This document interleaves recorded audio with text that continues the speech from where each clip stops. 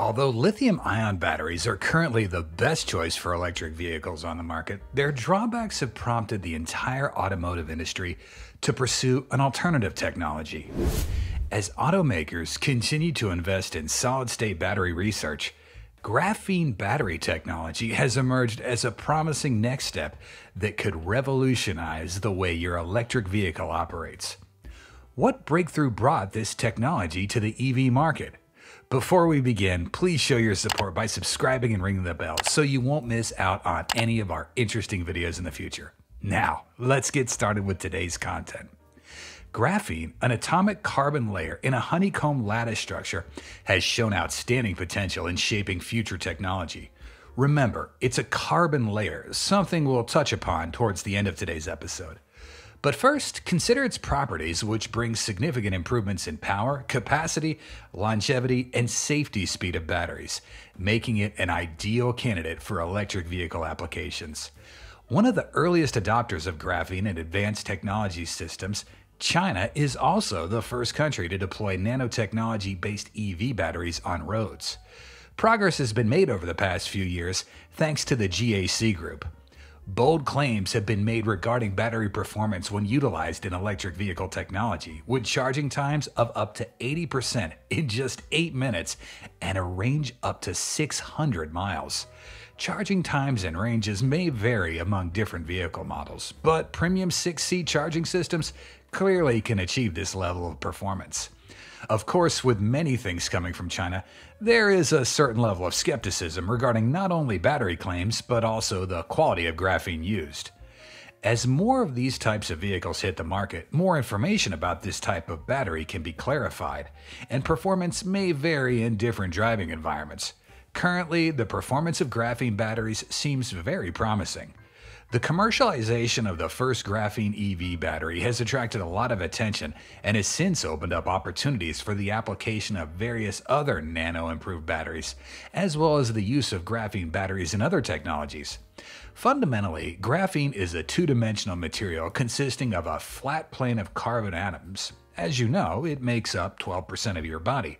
But unlike that, the carbon atoms are arranged in a true honeycomb lattice structure, only one atom thick making it very unique. Unlike other layered materials, graphene consists of atoms arranged in a plane, making it truly two dimensional. When these two dimensional layers are stacked on top of each other into multiple layers, it forms graphite, something most people recognize as the material of pencils. In other words, if graphite is a deck of cards, then graphene is a single card. It's important to note that graphene in these battery types will go into the electrodes at the end of the battery not the electrolyte in the middle. Meanwhile, lithium ion batteries power mobile phones, tablets, and even the electric vehicles you use. Officially, the world is being powered by lithium ion. However, nothing's entirely perfect. Lithium ion is good enough, but they have a drawback we encounter with this type of battery, which is safety. It can heat up and potentially catch fire when exposed to improper configuration temperatures. We've surely heard about millions of mobile phones catching fire in bags every day. They've become safer over the years, but it always comes at the cost of an integrated cooling system inside, making the design more complex, heavier, and more expensive. This has led to a decrease in battery pack density. What are the advantages of graphene batteries when used in EVs? Graphene electrodes have demonstrated significantly better electrical conductivity compared to the electrodes currently used in mass produced lithium ion batteries. In other words, they are more efficient in extracting electricity from the battery during use and pushing electricity into the battery during charging. With graphene, electricity can flow into the battery much more easily than with previous electrode designs. This leads to the biggest advantage that regular electric vehicle buyers would care about faster charging times. Based on the battery block diagram of lithium manganese oxide batteries, 33% of the weight comprises the negative electrode, and 15% comprises the positive electrode made of graphite or carbon. By using theoretical values for graphene, we could reduce the weight down to 9% for the positive electrode. Instead, we could use that weight for the negative electrode, increasing it to 39%, resulting in an 18% increase in energy density. This means a standard Tesla Model Y with a range of 260 miles could potentially improve to 306 miles. Although the weight doesn't increase, this is a departure from current lithium ion battery technology. Furthermore, what's interesting is that we have 11% copper and 19% aluminum in the graphene battery block, which are the electrodes where electrons move through. Aluminum is located at the negative electrode despite being less conductive than copper because copper reacts with lithium in unfavorable ways, whereas copper is used as a current collector at the positive electrode. This combination ultimately leads to an advantage of graphene battery technology in terms of conductivity. Copper is believed to have conductivity over 200 times higher than the graphite positive electrode. But if we replace the graphite positive electrode with graphene, the conductivity of this type of battery is improved by 333 times compared to graphite, and even surpasses copper by 68%. The result obtained from this technology is a reduction in weight as we no longer need copper. Future research will allow for the creation of graphene negative electrode to further reduce the aluminum content and increase energy density even more. Fast charging.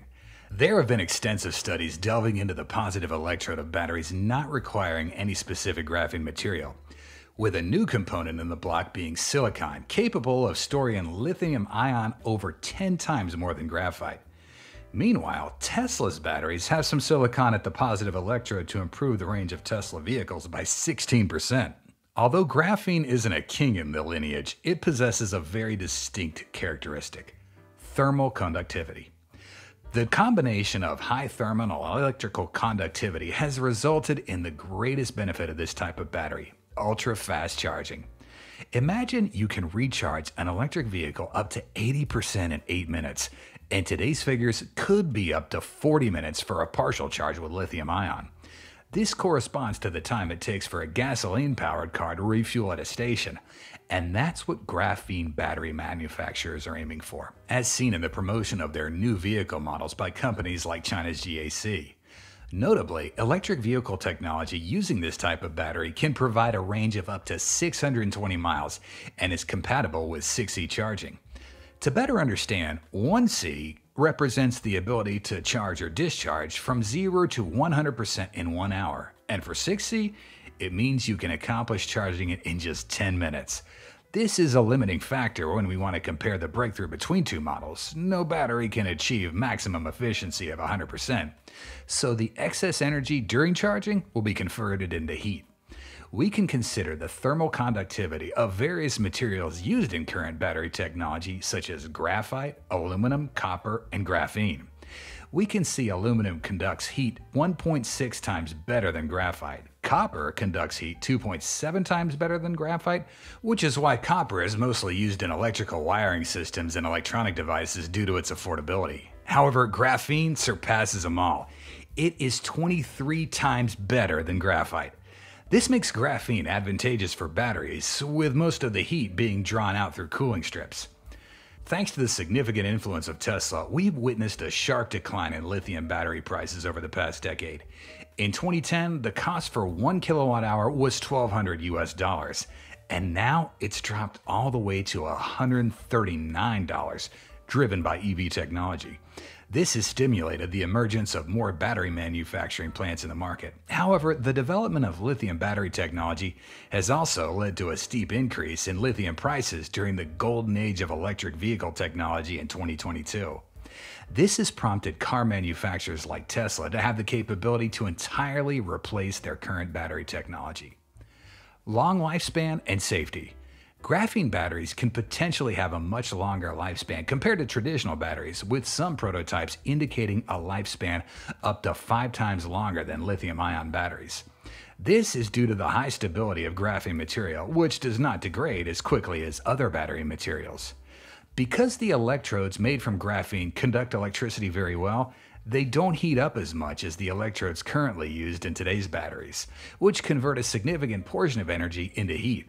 Sometimes this heat generation is intentionally utilized, such as in the red hot wires inside an electric oven. Other times, this additional heat buildup is undesired, such as in EV batteries. This means that batteries made from graphene are less prone to overheating compared to previous EV battery designs. Of course, electric vehicles are already less prone to fire or explosion risks compared to gas powered vehicles. Most electric vehicles running on the roads in the US are equipped with lithium ion batteries. They're powerhouses providing energy for our smartphones and laptops. When EV batteries get too hot, they're susceptible to a thermal runaway. This chemical reaction can be triggered by a fault in the battery or some external damage. In severe cases, it can lead to the battery catching fire or exploding. The indication and intensity of lithium ion battery fires can stem from various causes, including user behavior such as improper charging or physical damage. How does temperature in cold climates affect this battery technology? All vehicles experience decreased efficiency in extremely cold weather, However, EV drivers are particularly concerned about this because lower efficiency means reduced driving range.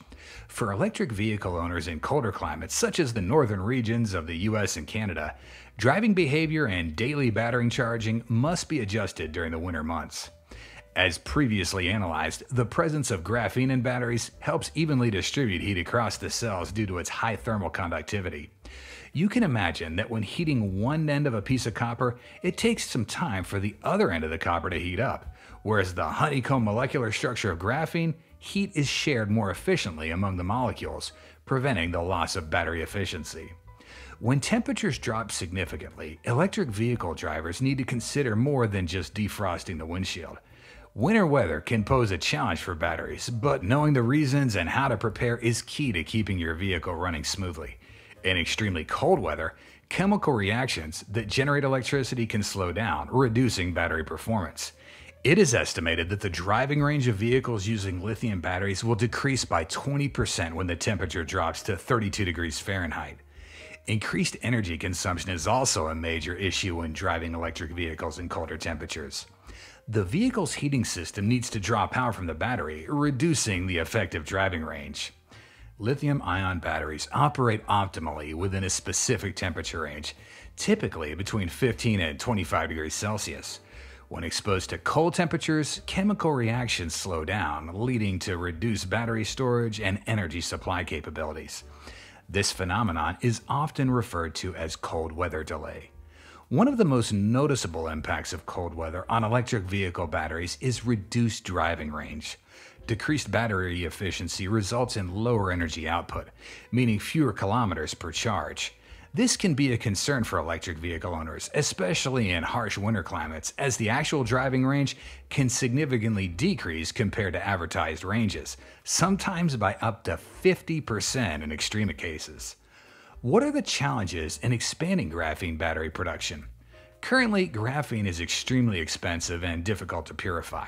While graphite's relatively easy to obtain on an industrial scale, it's very difficult to extract graphene from it. Labs have removed layers of graphene from graphite with tapes, but that obviously won't work to create enough graphene to power the entire electric vehicle industry. Several other processes for producing graphene have been developed, but none's ready for use in a factory. Furthermore, graphite is very delicate when spread thinly. You can imagine you're writing a poem with a pencil and then trying to lift the entire line off the page. Graphene is literally as thin as graphite because it's only one atom thick. These difficulties have not stopped the auto industry from toying with graphene the same way they developed solid state EV batteries by throwing a lot of money at someone else to solve the problem. Most notably, Stellantis has partnered with Silicon Valley based materials company like Lyten Incorporated to turn graphene into something usable in cars. And of course, like any Silicon Valley company, they use the word disruptive at least 40 times on their website. Like solid state batteries, graphene batteries sound perfect and almost magical in theory, but they are extremely difficult to turn into reality. For one thing, physics always makes things more difficult when dealing with extreme conditions outside the testing room. On the other hand, inventing battery technology and mass producing it are two completely different issues. Although scientists may be able to successfully build one or two prototype batteries, but one cannot simply scale up their method the same way one doubles the ingredients in a cookie recipe. It's easy to separate small pieces of this one atom thick carbon material, but it's difficult to produce large sheets for commercial purposes. Graphene's so elegant, it's made from a single element, carbon, formed by just one type of bond. Despite graphene's apparent simplicity, isolating the material remains elusive to chemists and physicists alike. Graphene is very good at hiding in plain sight, and the technologies and instrumentation perfected over the past two decades have played a key role in its discovery. There's also the issue of money. Even if some group of scientists come up with a solid state battery made from graphene that weighs 11 pounds, is as small as a sandwich, and can go thousands of miles on a single charge, the technological miracle, so it's still useless unless humans can afford it. After all, if costs weren't an issue, people would regularly fly across the ocean on expensive Concorde planes. What's so revolutionary about graphene, a material made up of 100% carbon? Hasn't carbon literally been around forever? Carbon is one of the basic ingredients of life and is found in abundance everywhere in the world, making it the fourth most abundant element on the planet. Meanwhile, graphene is exactly the material that researchers need to provide solutions for our growing and expanding global community in the 21st century. Worldwide attention is focused on eliminating the use of petrochemicals, reducing CO2 emissions, and finding greener ways of producing electricity. We need to feed, clothe, and shelter and power billions of people, and we need to do it responsibly and efficiently. So, graphene is ready to make this happen. Today, there are no other materials that can match the properties of graphene. Its strength, electrical conductivity, thermal conductivity, surface area, and filtering ability are unparalleled. Graphene has opened the door to new environmentally friendly solutions that before its discovery were simply not feasible. The search for clean, green, renewable energy sources dominates discussions across all industries. The energy needs of the global population are growing, especially as major population centers like India and China increase their demand for electricity, automobiles, and technology. The harsh reality is that we will not be able to power and connect our world with existing energy sources, so new solutions are crucial. Even though lithium ion batteries are now the standard for electric vehicles, many car buyers don't think they're good enough to replace the motor. Long charging times, compared to pumping gas and shorter driving distances, are insurmountable barriers to the transition. Additionally, the weight of lithium ion batteries tend to make electric vehicles heavier than ICE vehicles. In summary, graphene batteries offer significant advantages over traditional lithium ion batteries, but they're still in the early stages of development. Although some companies have made progress in developing the technology, there are still significant challenges that needed to be overcome before it can become mainstream. Would graphene prove to be a miracle material that could revolutionize the EV battery industry? We hope this video provided you with a sense of relaxation. If it resonated with you, kindly show your support by liking the video and joining the Tesla Car World family through subscribing to our channel. Be sure you don't miss out on any of our fantastic content by hitting that bell icon. Your feedback and time are immensely appreciated. Thank you for watching, and we look forward to seeing you soon. Until then, stay safe and enjoy life.